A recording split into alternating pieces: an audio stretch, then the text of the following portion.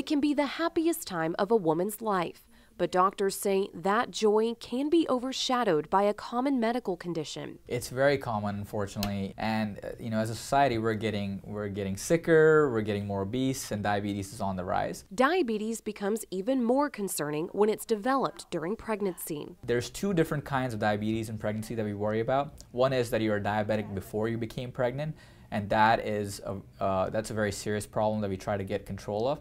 The other is that you're not a diabetic, you've had normal blood testing before, what happens in pregnancy is that the placenta that the baby relies on actually releases hormones that increases your blood sugar. If the mother becomes diabetic during pregnancy, both the mother and baby are at risk for health concerns. It actually affects the development of the baby and you can cause heart defects and brain defects if the sugars aren't brought into control quickly. These concerns are why doctors like OBGYN Dr. Ravi Chokshi are screening women throughout their pregnancy. We're actually instituting a policy where almost every patient is going to get at least some blood sugar test at the start of pregnancies to make sure we're not missing diabetics who didn't know they were diabetics. If a woman is a diabetic or becomes diabetic during pregnancy, doctors will work with her on diet and medication to help get her blood sugar under control. If you have diabetes in pregnancy and we don't treat it adequately, you're at a two to three time increased risk for C-section you're at a three to four time increased risk for birth uh, injuries. The goal is to catch diabetes early during pregnancy to prevent health concerns for both mother and baby,